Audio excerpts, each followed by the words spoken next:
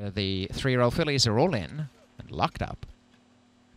And they're off. And a very good start. Back to last, though, is Midnight Gem. Not showing much pace. Dropped three behind. And Artie's Princess came out running. Dashed out in front by two lengths and drifted out a bit. And getting away from the inside leads almost three. Tuscan Damsel. Lying in third is Rosie Jewel Dancer. Westpaw going up nicely on the outside. And back on the rail is Wake Up Maggie making ground. And a long last Midnight Gem. The problem with the leader is getting away from the inside. Lugged out there. But Artie's Princess in front.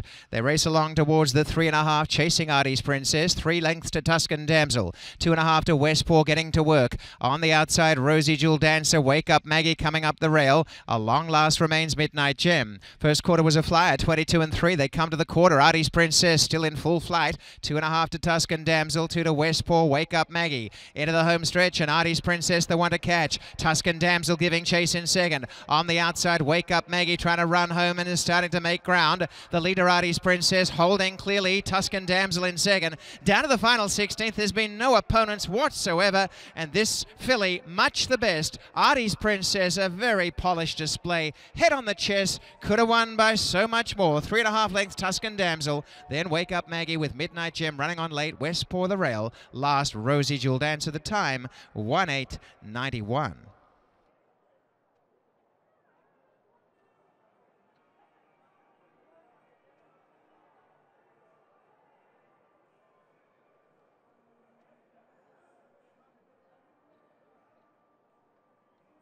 that says nobody cried.